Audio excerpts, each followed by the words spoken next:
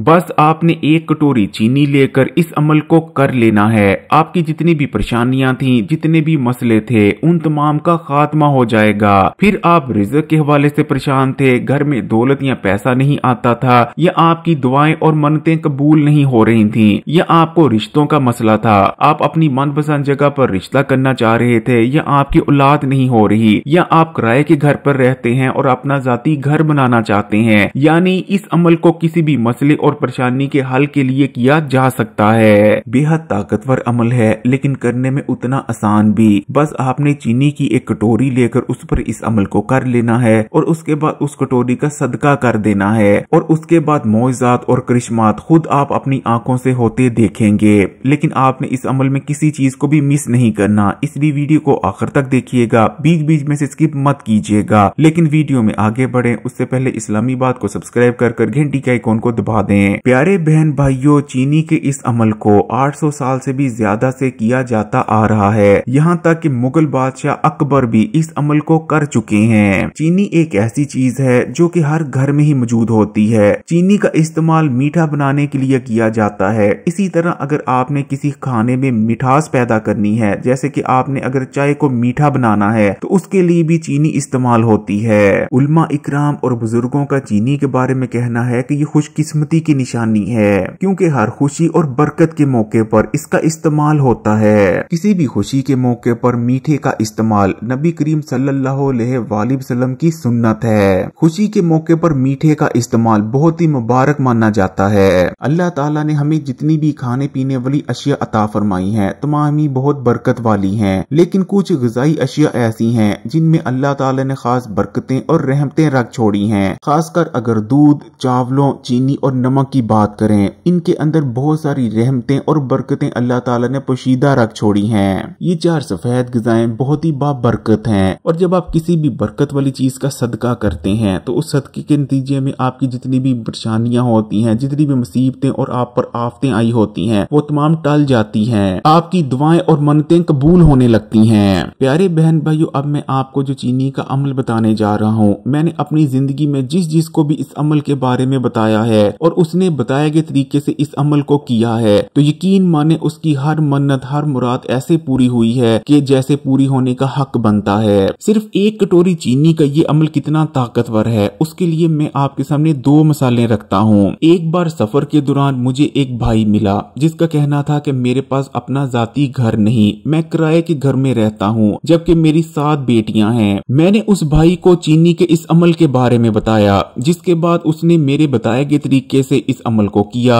मुलाकात के दौरान उस भाई का कहना था कि अगर मुझे सिर्फ़ दो और तीन मल्ले का घर भी मिल जाए तो मैं अल्लाह ताला का दिन रात शुक्र अदा करता नहीं थकूँगा। अल्हम्दुलिल्लाह, अमल को कर लेने के बाद आज उस भाई के पास दस मल्ले का घर है। इसी तरह एक बहन अपने शोहर के कारोबार के हवाले से बहुत परेशान थी। उन्होंने मुझसे रहा किया और तमाम दास्तान बताई। उनका कहना था कि उनका शोहर जो भी कारोबार करता है, वो कारोबार बुरी तरह से नाकाम हो जाता है। कारोबार नहीं चलता। कारोबार में जितना पैसा लगाया होता है, वो तमाम का तमाम पैसा डूब जाता है। और अब हालात ये आ चुके हैं कि हमारे घर में कुछ खाने पीने को बाकी नहीं बचा। घर के तमाम बर्तन, घर का तमाम सामान बिक चुका है। और अन करीब हालात बता रहे हैं कि शायद हमारा घर भी बिक जाएगा और हम सड़कों पर आ जाएँगे। जिसके बाद मैंने बहन को इस अमल के बारे में बताया। बहन ने इस अमल को मेरे बताए गए तरीके से किया, जिसके महज कुछ अरसा बाद उन बहन ने मुझसे रहा किया और उन बहन का कहना था कि अल्हम्दुलिल्लाह, उनके शोहर का कारोबार सेट हो चुका है। उनके शोहर ने किराए की जिस दुकान से अपने कारोबार का आगाज़ किया था, कारोबार चल जाने के बाद उन्होंने वो दुकान भी खरीद ली है। उन बहन का कहना था कि ये इस अमल की ही बरकत है कि आज उनके घर में किसी किस्म की भी रिजक दौलत की कमी नहीं। तो प्यारे बहन भाइयों, आइए फिर देख लेते हैं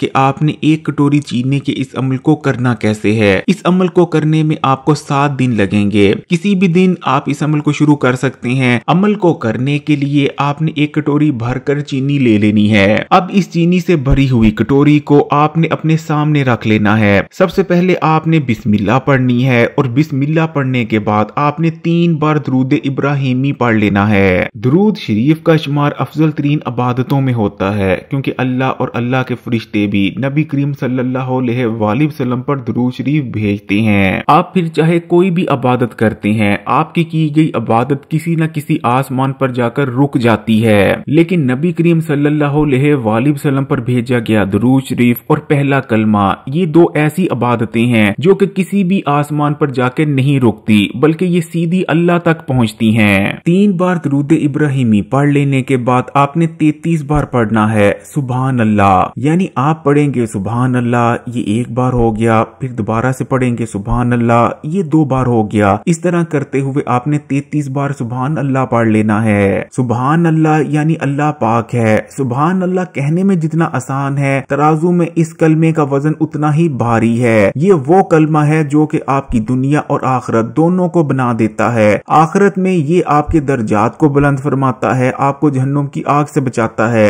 जबकि दुनिया में ये कलमा आपकी दुनिया को बना देता है। आपको बहुत सी मुसीबतों और परेशानियों से बचाता है। बाबा फरीद शकरगंज का कहना था कि सुबह सुबह तमाम ही परिंदे सुबह अल्लाह का विरद करते हैं, जिसके सदके ही उन्हें पूरा दिन रिस्क से नवाजा जाता है। और जो शख्स भी सुबह अल्लाह को अपनी ज़िंदगी का हिस्सा बना लेता है तो ज़िंदगी में उसे कभी भी रिस्क और दौलत के हवाले से परेशानी का सामना नहीं करना पड़ता। उसके बाद आपने तैतीस बार ही पढ़ना है, अल्हम्दुलिल्लाह। यानी आप पढ़ेंगे, अल्हम्दुलिल्लाह, ये एक बार हो गया। उसके बाद पढ़ेंगे, अल्हम्दुलिल्लाह, ये दो बार हो गया। इस तरह आपने तैतीस बार पढ़ लेना है, अल्हम्दुलिल्लाह। अल्हम्दुलिल्लाह यानी तमाम तरीफे सिर्फ़ अल्लाह के ही लिए हैं। जो शख्स भी अल्हम्दुलिल्लाह का विरत करता है, अल्हम्दुलिल्लाह की बरकत से, अल्लाह ताला उसकी ज़िंदगी से, उसके घर से, उसके पैसे से हर किस्म की बेबरकती को खत्म कर देते हैं। उसकी ज़िंदगी में, उसके घर में, उसके पैसे में हर तरफ़ बरकत ही बरकत होती है। ये वो कर्मा है जो कि आपकी जिंदगियों से नहूसियत को ऐसे दूर करता है, जैसे दूर करने का हक बनता है। उसके बाद आपने तैतीस बार ही पढ़ना है, अल्लाह अकबर। यानी आप पढ़ेंगे अल्लाह अकबर, ये एक बार हो गया, फिर पढ़ेंगे अल्लाह अकबर, ये दो बार हो गया। इस तरह आप तैतीस बार पढ़ेंगे अल्लाह अकबर। अल्लाह अकबर, यानी अल्लाह सबसे बड़ा है, अल्लाह सबसे अजीम है। और आखिर में आपने तीन बार फिर से दरूद इब्राहिमी पढ़ लेना है। अब आपने अपने सामने चीनी की जो कटोरी रखी है, उसमें से एक या डेढ़ चम्मच चीनी को निकालना है और किसी दूसरी कटोरी में डाल देनी है। और उसके बाद आपने अल्लाह ताला से दुआ करनी है, आपकी जो भी ख्वाहिश है, आपकी जो भी परेशानी है, आपकी जो भी मन्नत है, आपने उस दुआ में अल्लाह ताला से वो चीज़ मांगनी है। अगर आप रिजक की तंगी से परेशान हैं तो आपने अल्लाह ताला से वाफर रिजक मांगना है। अगर आपको दौलत चाहिए तो दौलत मांगनी है। गाड़ी चाहते हैं, बड़ा घर चाहते हैं तो वो मांगना है। अगर आप रिश्ते के लिए इस अमल को कर रहे हैं तो आपने रिश्ते के बारे में दुआ करनी है कि अल्लाह ताला आपका रिश्ता करवा दे, या जहाँ आप चाहते हैं, अल्लाह ताला आपका रिश्ता वहाँ करवा दें। इसी तरह अगर आप अपने जाती घर के लिए कर रहे हैं तो आपने दुआ में अल्लाह ताला से अपना जाती घर मांग लेना है। यानी जिस मकसद के लिए भी आप इस अमल को कर रहे हैं, आपने उसके बारे में दुआ मांगनी है। आपने इस अमल को लगातार सात दिन तक करना है। यानी आपने अगले दिन भी इस अमल को रिपीट करना है। आपने चीनी की कटोरी को अपने सामने रख लेना है। सबसे पहले आपने तीन बार दुरुद इब्राहिमी पढ़ना है। उसके बाद आपने तैतीस बार पढ़ना है सुबहान अल्लाह को और तैतीस बार आपने पढ़ना है अल्हम्दुलिल्लाह को और तैतीस बार ही आपने पढ़ना है अल्लाह अकबर को और आखिर में तीन बार आपने दुरुद इब्राहिमी को पढ़ लेना है और इन तमाम चीज़ों को पढ़ने के बाद आपने चीनी की कटोरी से एक या डेढ़ चम्मच चीनी की निकालनी है और दूसरी कटोरी में डाल देनी है। ये अमल आपने लगातार सात दिन तक करना है। सात दिन बाद ये अमल मुकम्मल हो जाएगा। अब आपने चीनी की इस कटोरी को लेना है और इसके साथ आप दो काम कर सकते हैं। पहला काम तो ये किया जा सकता है कि इस चीनी को आप दोबारा से अपने किचन में उसी बर्तन में डाल दें जहाँ से आपने इसे निकाला था। और रोज़मर्रा आपके घर में चीनी जो इस्तेमाल होती है, उसी चीनी के साथ इस चीनी को इस्तेमाल कर लिया जाए। यानी इस चीनी को आप अपने घर में भी इस्तेमाल कर सकते हैं। या जो दूसरा तरीका है कि आपने इस चीनी का सदका कर देना है। रवायती तौर पर यही किया जाता है कि आपने इस चीनी की कटोरी को सदके में किसी को दे देना है।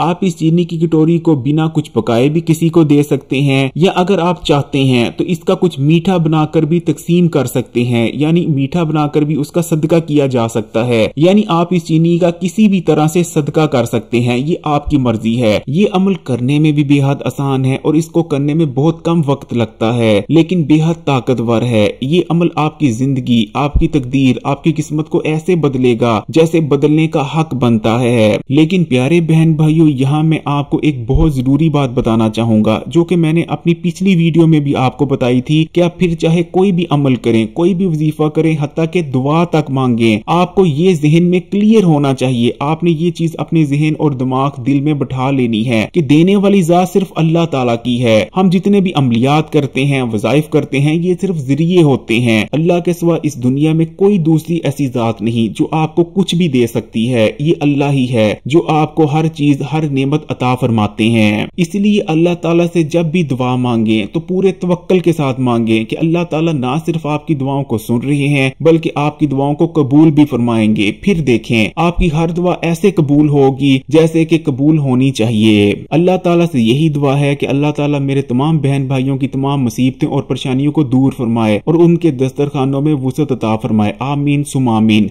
अगर वीडियो अच्छी लगी तो कमेंट्स में माशाल्लाह ये सुबह अल्लाह ज़रूर लिखिएगा और मजीद वीडियोस के लिए इस्लामी बात को सब्सक्राइब कर घंटी का एक को दबा दें और ऑल नोटिफिकेशन को सिलेक्ट कर लीजिएगा। जजाकल्ला